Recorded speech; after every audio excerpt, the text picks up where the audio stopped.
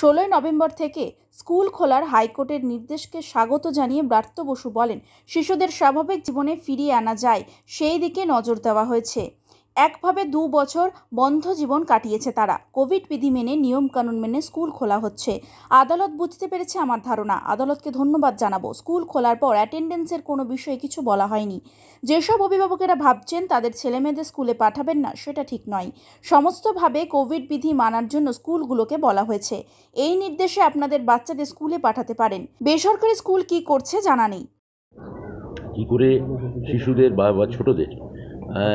মূল জনজীবনে ফিরিয়ে আনা যায় যে যাতে কোনো জনজীবনের সঙ্গে যাতে তাদের এলিয়েনেশন না হয় এবং এক ধরনের যে বদ্ধ জীবন প্রায় দু বছরে কাটানো, সেখান থেকে যে তাদের একটা উন্মুক্ততা দরকার এবং তাদের সেই প্রতিষেধক দিয়ে নিয়ম নীতি মেনে কোভিড সংক্রান্ত সেইটা আদালত আমার ধারণা বুঝতে পেরেছেন? সেই জন্য তাদের আমি ধন্যবাদ জানাব।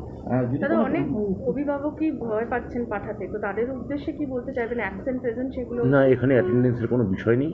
যারা যারা যারা মনে করছেন শিশুদের পাঠাতে চান না কোনো ভয় তাদের মধ্যে অতিরিক্ত বা বাড়তি কাজ করছে।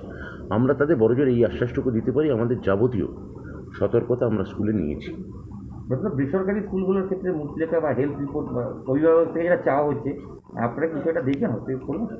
সেটা আমরা পরে দেখব, কিন্তু আমাদের সরকারি দিক থেকে এরকম কোনো মুচলেখা নেওয়া, বেসরকারি স্কুল কি করছে আমি জানি না।